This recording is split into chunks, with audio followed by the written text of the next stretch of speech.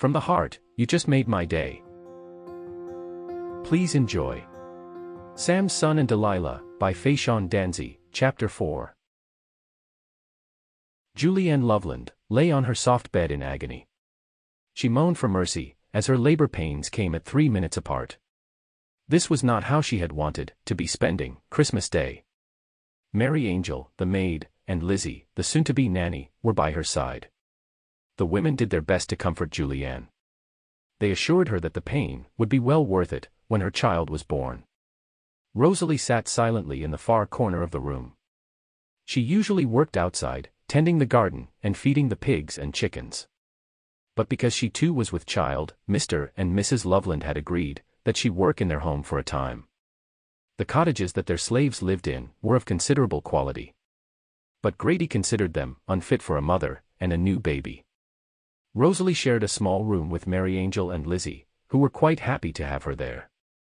They had been very hospitable, allowing Rosalie to have one of the two petite beds to herself, while they shared the other. This was Julianne's first time giving birth. She did not know what to expect. Why does it have to hurt so much? The pain is too great, she sobbed. And where is Grady? I need him. She feared something was wrong.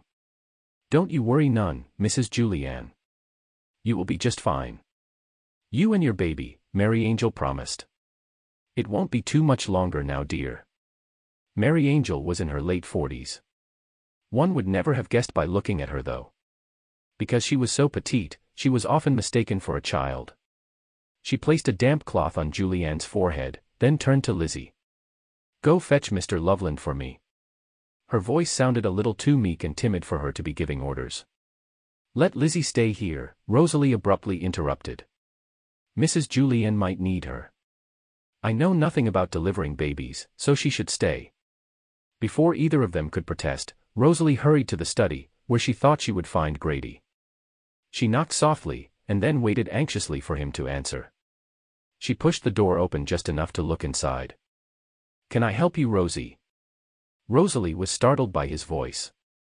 She had not heard him come up behind her. He seemed to have appeared from nowhere. I'm sorry, Rosie. I didn't mean to scare you. Please come inside. The affair between Rosalie and Grady had lasted an intense two months. They had made good use of every chance for a sexual encounter. Then the affair had ended, without explanation. Soon after, Julianne had announced that she was carrying Grady's child. Grady held the door ajar for Rosalie to enter. Feeling rather uneasy, Rosalie hesitated. Do come in. He urged her a second time. Mrs. Julianne needs you. She will be delivering, any minute now. Julianne will be okay. She is young, and has yet to learn that giving birth is a natural process. I will be at her side, as soon as the baby is here. Taking Rosalie's hand in his, Grady led her over to a soft canopy bed. With ruffled covers and matching throw pillows that Carol had sewn. The bed served as a lavish embellishment to an otherwise plain room. Have a seat, Rosie. We should talk. Grady's gaze was intense as he sat next to her, gently caressing her belly. When will you have this child? It is almost time, she said.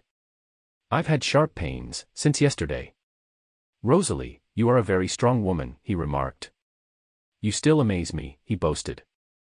I just want you to know that the child you are carrying will never be sold. Have you told Nathaniel the news? No. I thought it would be best that I tell you first. Why me? I'm afraid, she started, what do you have to be afraid of? Haven't I always been good to you? Yes. And I appreciate you for that. Nothing is guaranteed for me and my child. I cannot take anything for granted. Rosie, you're not making much sense. Rest assured, you can tell me anything, he said. This is your child, she blurted. Had it been Nathaniel's, it would have been here more than a season ago. Grady was neither surprised nor disappointed. He sat for a time without uttering a word to Rosalie. His silence troubled Rosalie. What are you going to do?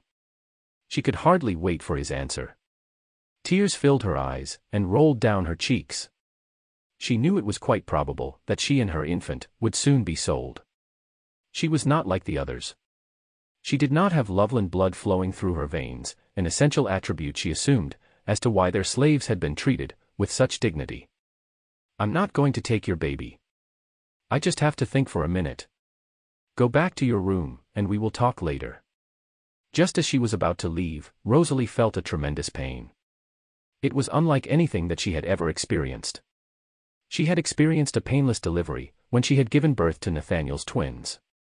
But now, she felt as if she was being punished for her sins. She fell to her knees, holding her belly. In only a few seconds, she was soaked in amniotic fluid. Dear God! Grady exclaimed. What am I going to do with you? He picked her up and carried her down the hallway. Lizzie, he called. Come here. His voice almost trembled as he shouted for assistance. What's wrong? What happened to her? She will be fine. She is about to deliver. Get the door for me. Lizzie kicked the door ajar, and Grady gently placed Rosalie on the bed. He lingered momentarily, holding her tiny hand. Don't worry. You and your baby will always be taken care of, he promised. His voice was soothing and the comfort of his words gave her a sense of security in that moment. Mary Angel came in moments later, carrying a little squirming bundle. She had been eager to learn what all the shouting had been about. So she used the baby as her excuse for leaving Julianne alone. Mr. Loveland, you have a daughter, she announced. A very beautiful daughter. Grady was so overwhelmed with emotions that he did not take time to look at the baby when Mary Angel handed her over. Take care of Rosie, will ya? She is about to deliver. I will go to Julianne now. When Grady entered the room, Julianne was already in a deep sleep. You did good, he said softly. She did not hear him. The trauma of giving birth had completely drained her. Grady sat beside her for a moment, holding her hand. How he loved the feel of her supple skin. It was soft as that of a baby's. Grady wondered, how his wife would react if she found out about the affair. Loveland men were known for mating with enslaved women. But Grady had promised his wife that he would not. Technically, he had not. With Rosalie it had been different, Grady had tried to convince himself. He had actually developed real feelings for her. Feelings that he dared not express. Of course that would not be an acceptable explanation to Julianne. Adultery was wrong, no matter how he felt about the person that he was having an affair with. Satisfied that Julianne would be okay, he placed the baby into the cradle and went to check on Rosalie. He knocked, and Mary Angel appeared at the door, holding another little bundle. That was fast, he said. She looks just like your baby, she told Grady. Her voice was filled with amazement. Grady took the baby from her. His heart thumped heavily. As he looked down at her, he knew that this beautiful child was of Loveland descent. Her striking features were unmistakable. She resembled Grady's mother. His father had tried to teach him differently, but Grady could not help feeling a bond as he held the little girl. This perfect little child deserved his love. His life was definitely going to change. There was no way he could keep this secret forever. Julianne would see the family resemblance in the child. Grady cared for Julianne dearly and did not want to hurt her. Although he could never confess it, he had fallen in love with Rosalie and was determined that he would never sell her, or her baby, something that Julianne would surely demand of him, if she discovered their secret. Grady's mind was clouded with decisions to be made. He forgot to give the baby back to Mary Angel. She stood there dumbfounded, as he entered their bedroom, carrying Rosalie's baby. Mary Angel, I want to see my baby. Rosalie sounded weak. She barely had enough strength to lift her head from the pillow. To Rosalie's dismay, Mary Angel turned around empty-handed. I don't know how to tell you this. Mr. Loveland took your baby with him, she said. Rosalie's greatest fears seemed to be coming true. Please bring my baby back. Please, you have to talk to him. He will listen to you. Rosalie, it's all right. He won't sell your baby. But there is another problem. Oh no. What's wrong? Mr. Loveland took your baby to their room. What? There's something that you should know. Your baby, and their baby, look just alike, added Lizzie. She was eager to get to the bottom of it. How did that happen? You'll find out sooner or later. I guess I may as well tell you now. Rosalie would have to confess to Nathaniel, so she thought it best that she be the one to tell them. Delylah is not Nathaniel's child, admitted Rosalie. Who is Delylah? Lizzie asked. That's what I am naming her. Delylah. The name is given to those who possess great beauty. Grady suggested it. She is a Loveland. Grady is her father. But you must tell no one. Mary Angel and Lizzie possessed no feelings of loyalty for Rosalie, but they both promised to keep the secret, in order to protect Grady. Rosalie trusted that they would. What about Nathaniel? Lizzie inquired. I will tell him when I return home. If Mrs. Julienne finds out, my baby and I will be sold. Julienne sat up, just as Grady opened the door, bringing with him a greatly appreciated draft of cool air from the hallway. The heat from the fireplace had her sweating. Bring me the baby, honey. Is it a boy or girl? Huh. Grady had forgotten that he was still holding Rosalie's child. The baby silly. Do we have a boy or girl? Don't tell me you haven't checked. Oh. We have a girl. Well, let me hold her, she insisted. No, he protested without meaning to. I mean, you need your rest. He hurried past her and placed the infant into the cradle with their daughter. Just as Mary Angel had said, the babies were strikingly similar. Grady Loveland, don't be ridiculous. I have to name her. I cannot name her, if I haven't seen her, Julienne complained. You're right. What was I thinking? Grady realized he could not tell the two of them apart. They were identical. Grady was shocked that such an occurrence was even possible. If it had not happened to him, he would never have believed it. He had no idea which one was his wife's child. He frantically chose one, handed her over to his wife and hoped that she would not suspect a thing. Julienne instantly fell in love with the little girl. Oh, she is so precious. Look at her Grady. I will call her Courtney. Courtney Marie Loveland. How does that sound? Sounds like you have given it a lot of thought. He kissed her head. I told you everything would be okay, Julienne. Now we have a beautiful daughter. Julienne nodded in agreement. You were right. And you were also right about me needing to get some rest. I am exhausted. Take her back to the bed for me. Well, I think I will let Rosalie and the others see her. After all, they will take a part in raising her. Rosalie. Her stay in this house is only temporary, she snapped. I don't want the likes of her around my child. Now don't go getting all upset. It's not good for you. We can talk about this later. No, she demanded. Julianne was not about to let him avoid the discussion.